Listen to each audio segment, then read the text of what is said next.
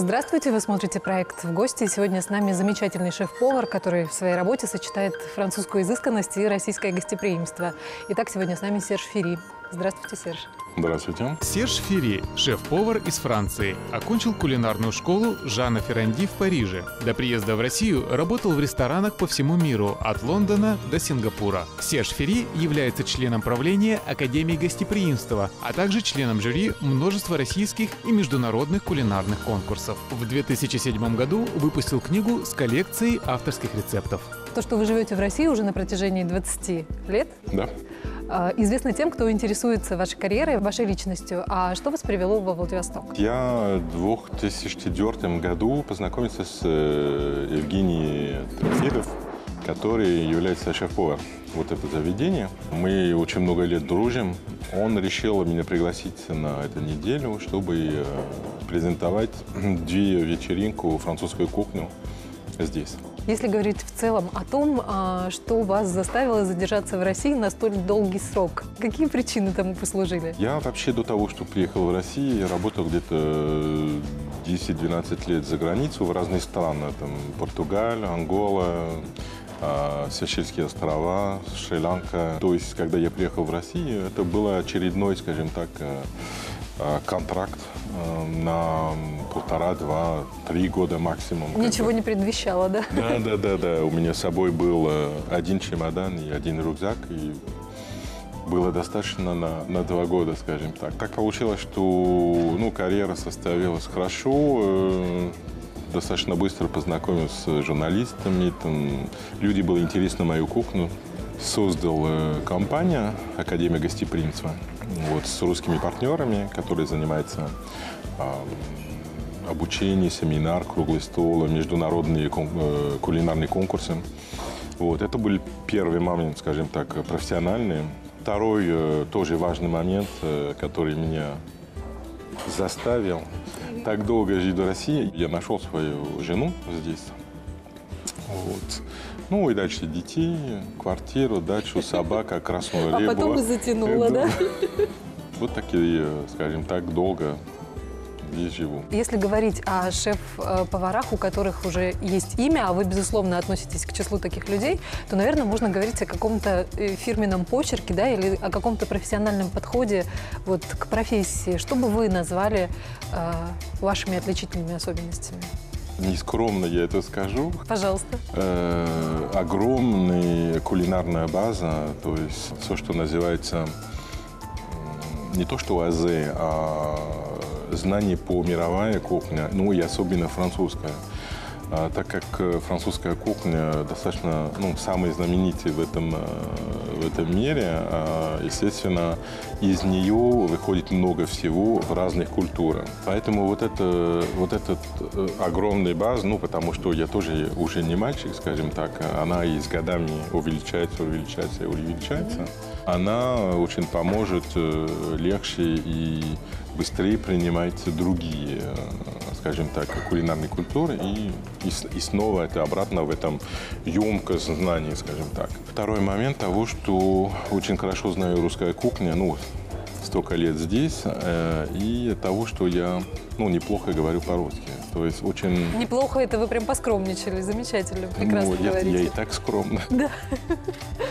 А, Просто э, очень поможет вникать в, в культуру, в, в разговор с людьми, а, и все, много всего узнать про жизнь, про какие-то детали, про какие-то маленькие, скажем так, секреты, там, бабушкины, которые э, ну, в регионе работают в ресторане долго, и которые что-то показывают, или какие-то что-то рассказывают по традиции и так далее. Иногда люди очень удивляют, что я знаю и это, и это, и это, и это. Ну, потому что это очень типичная традиционная русская культура.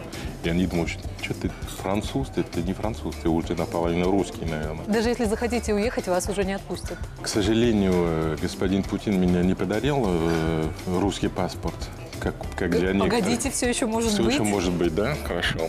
Так-то Депардье, там, Стивен Сигал и да, так далее. да. А я как-то, ну, Вот если журналисты разговаривают с людьми искусства, там, с музыкантами, писателями, художниками, очень часто возникает вопрос, откуда берется вдохновение у этих людей.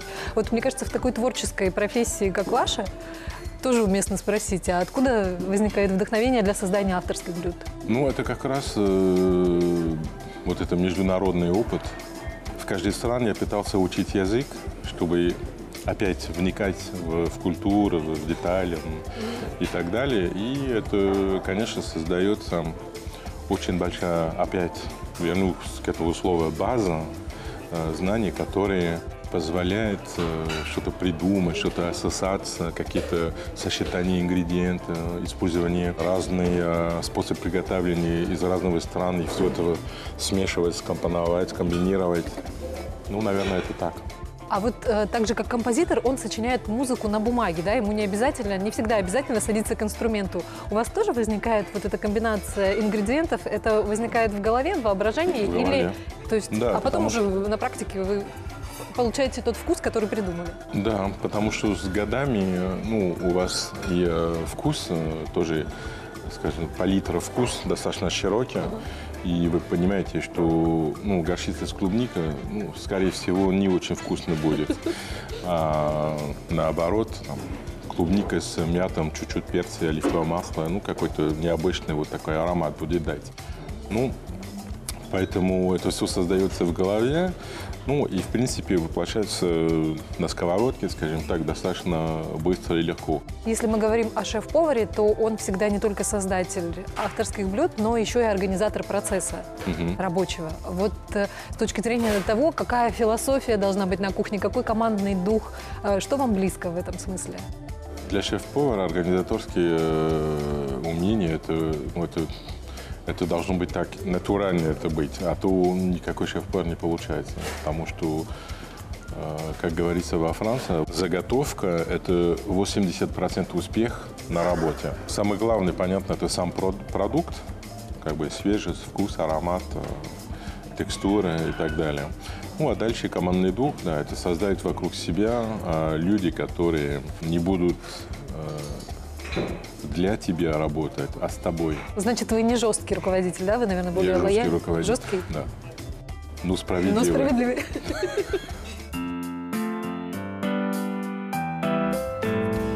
Те, которые э, меня не знают на работе и придут ко мне, они, э, они смотрят на поведение, ну, официантов в зале, когда я сижу, или э, на кухне смотрят. И смотреть на поведение повара и а что, они тебя боятся? Не, они не боятся. Они уважают, но осторожно. Если вы войдете в новый коллектив, э, вы должны со своим э, профессионализмом убеждать всех, что босс – это я. Ну, потому что я могу и это вам научить, и это, и это, и это. На работе не всегда э, самое главное – получить много денег. У много людей, ну, по статистике не помню точно, но где-то 75% самый первый э, главный момент – это профессиональное удовольствие. Понятно, что я в своем э, гостинице «Астория» в Санкт-Петербурге не стою э, 12 часов э, у плите. Моя основная работа – это организация, создать команду, чтобы она работала. Ну, и я все равно не могу долго не готовить. Как бы это я люблю. В высокой кулинарии всегда были свои звезды. Ну, допустим, даже те повара, которым присвоены мишленовские звезды, да? А, но с недавних пор появились еще и такие повара, которые стали телезвездами. А, вроде Гордона Рамзи, Джейми Оливера, да, у которых свои телешоу, у которых знает широкая аудитория. Как вы к этому относитесь? И считаете ли вы, что вот эти люди, которых вдруг узнало огромное количество людей, влияют на ну, некую моду, что ли? То есть на что-то они влияют? Ну, влияют, конечно. Скорее всего, они создают э, большой интерес и создают какой-то ну, пользу к тому, что распространяется информация про нашу профессию. И это привлекает больше людей.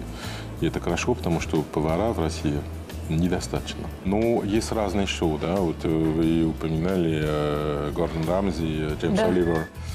Ну, э, это люди, которые все равно уже э, имели без телевидения какой-то аура, какой-то Да, безусловно, они не пришли просто с Вот. улицы. то, что они принесут, эм, их вклады в кулинарии, в принципе, хорошие, интересно.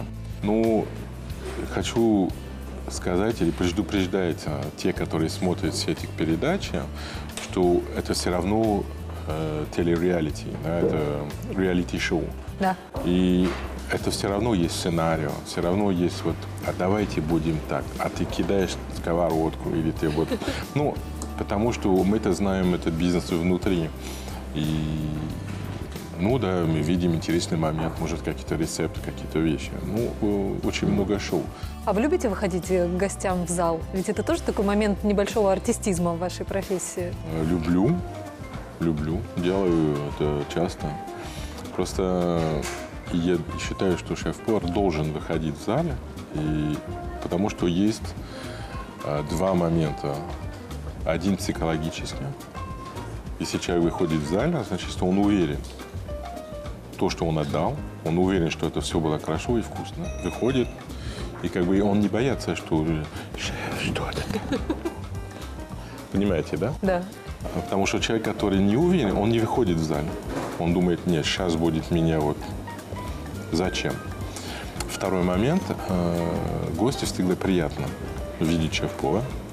Вот и такой. Вот, шеф-повар. Вот такой момент, да? А если еще и пообщаться с шеф-поваром, это вообще супер.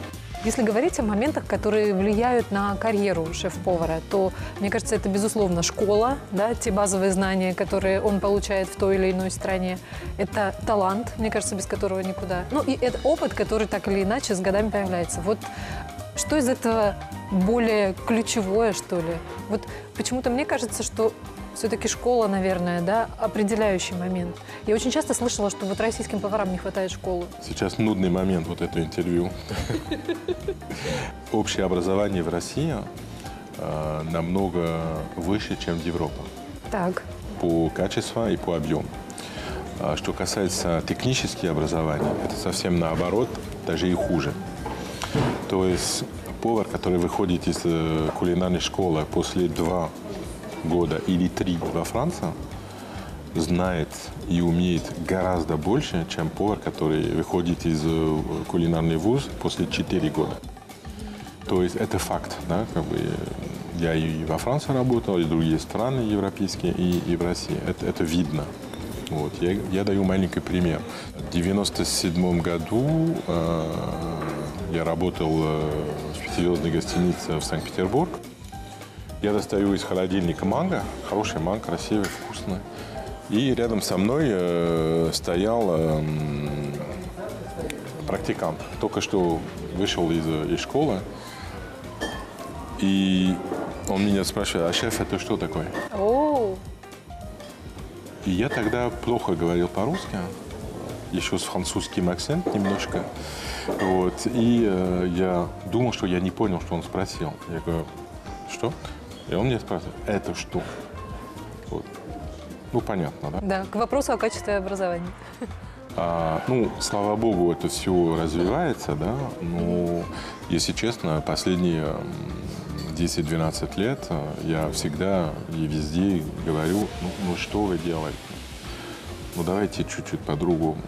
Потому что, ну, во-первых, зачем 4 года, когда можно 2 или 3?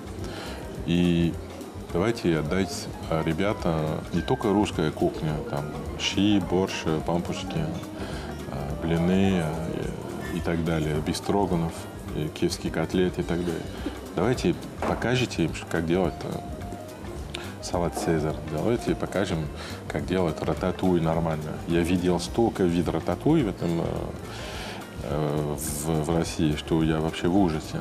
Вот. Как раз сегодня будет рататуй французский, настоящий, классический. А Есть э, такой э, метод э, учения, ну, примерно во Франции, да, неделю в школе, неделю в ресторан.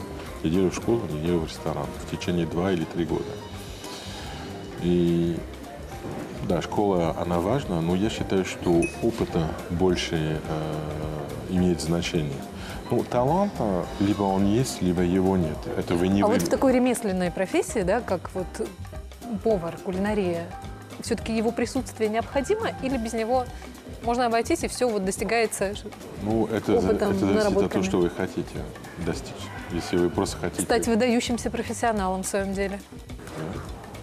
ну, тогда надо Получить талант. имя, которое будет звучать, Ну, тогда да. репутацию. Ну, талант, он есть, его есть или его нет. Если его нет, ну, извините. А если его есть, то все равно это не все. Надо его развивать. А единственный вариант – это набрать опыт, видеть много всего, это все запоминать, все использовать постоянно. Поэтому я бы сказал, э, опыт, талант, ну и школа. Ваш путь профессиональный, он уже насчитывает много лет, и, как я могу судить по этому разговору, ни любви к своей профессии, ни азарта к своему делу вы не потеряли. А что вот сейчас на этом этапе для вас самое приятное в вашем деле? Самая приятная часть э, профессии? того, что я работаю уже два года, больше два года э, просто в замечательных, очень хороших заведениях. Ну, я уже назвал да, вот, гостиница «Астория». Даже люди, которые приходят ко мне, говорят, вот, вот наконец ты работаешь, вот, вот это твое. Вот, большой, там, респектабельный. Я про гостиницу, не про Да-да. себя. Это можно и отнести, я думаю, что и к вам, и к гостинице. Вот. И там э, ну, большая команда, потому что там на самом деле два гостиница. Астория и Англетера, ну, которые две очень знаменитые в Да, России. легендарные гостиницы. Легендарные гостиницы в этом, э, в этом стране. И я очень горда, я признаюсь, я очень горда, даже если это большой грех, э, работать в этих заведениях. Ам, большой команда, очень большая организация, большая логистика. Ну, как бы очень интересно, очень, э, ну, челлендж, как говорится по- по-английски. Вот. Поэтому мне очень нравится. То, что хотелось бы достичь, это, ну что, может, больше, э, больше знаменитость? Ну, да, может быть. Может быть, вторую книгу написать, наверное. Вот, если успею, вот, хотелось бы. Я думаю, на этом можем наш разговор завершить. Большое вам спасибо. Желаю вам приятного вечера и спасибо, что были с нами. Спасибо.